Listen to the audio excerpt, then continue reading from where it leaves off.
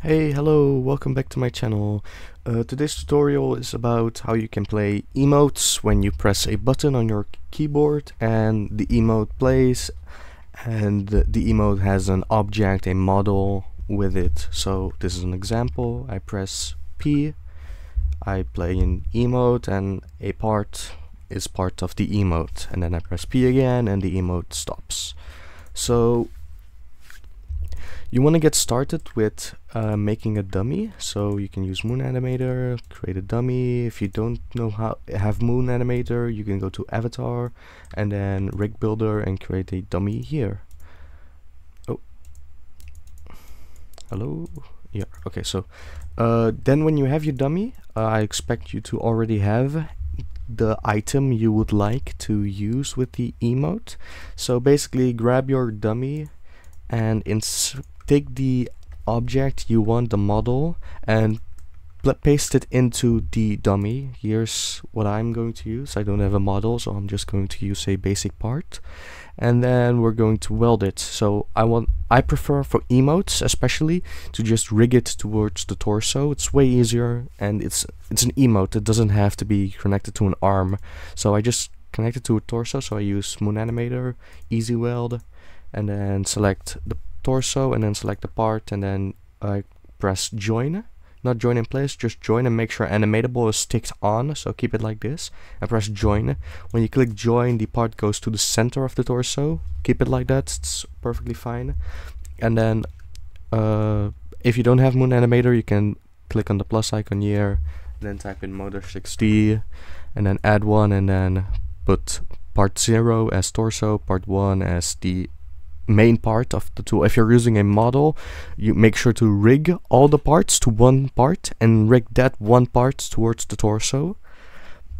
And so basically then you make an animation, you I open Moon Animator, you can use the uh, animation editor here in Avatar, but I'm going to use Moon Animator. So click on the dummy, I as you saw I have something, so basically make your animation now, then uh, then export your animation.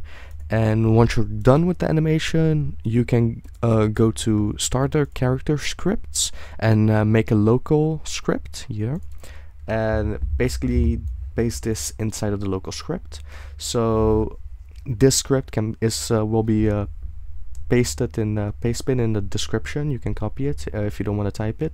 But let me explain how this works so we're first going to make an uh, animation animation instance, and we're going to give the animation I of the animation instance the ID of this. You can change it to whatever. Um, this is the spinning ID I had, and then we're going to add a track, and then we're going to use cooldowns so we can measure if the animation is playing or not playing and then we're going to do user input service so we can check the so we can get detect the input of the player.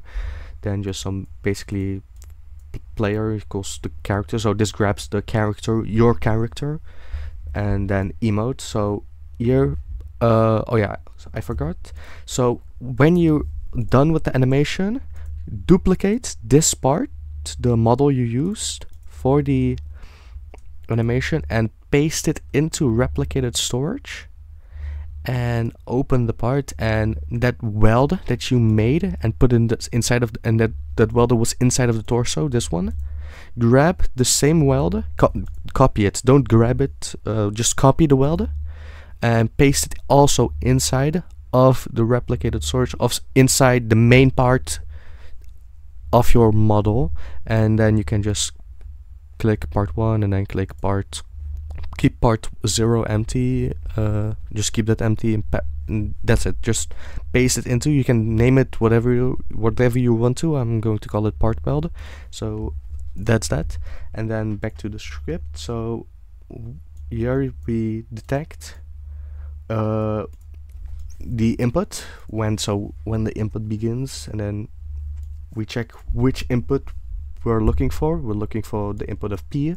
That's my keybind. You can change this to whatever you like. I keep it at P. And then we're going to put cooldown is false. So if the cooldown is false, which it is to begin with, then the emote, which I called emote 0, it, I called the model I put in replicated storage here. It, I called it emote 0. So this we're going to do a local emote 1. Make sure this is 1 because we're doing a new local. And that this new local is a clone, is the clone for of the part. Make sure to have this at emote 1 or whatever you like. Just make sure this and this is different. Not the same. This and this is different. And then emote 1, uh, the parent of that is the player. So make sure this is like this. So it gets the part or the model gets inserted into the player. And then part weld that's this part weld part zero of it will be added towards the torso because I animated it with the torso. And then this part gets set to torso. And then the parent of the weld gets put inside of the torso and then basically we load the animation onto the humanoid and we have the priority action because it's an action and then we play the track. And once the track is played we put the cooldown on true uh, so we can know okay now the animation is playing. And then we're going to anchor the player because it's an emote. I don't want the player walking around with the emote so we anchor the player. And now we uh, go else. So well basically it's a different version. So here again if input is pressed and the cooldown is and true. So basically if this has played and the player presses the P again and the cooldown is true so which it is it destroys the part then stops the track and then puts the cooldown back at false and then unanchors the player. So this can loop basically again. So you can press P to play the animation, press P again to stop the animation.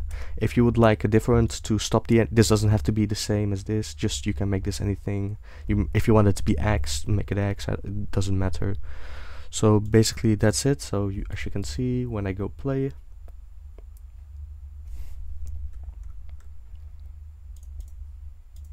as you can see and I press P, the emote plays, nice, and then when I press P again, the emote stops and I can walk and press 3 I can I cannot walk. And now I can. That that's it. This is the script again and uh, thank you for watching. Uh, I will post my discord server also in the description. If you have any scripting issues need any help anything just join my discord. We have almost 100 people already. Just join it ask for help in the help section or share something. Just hang around if you would like. Anything join, join the discord if you'd like. It's in the description. Okay goodbye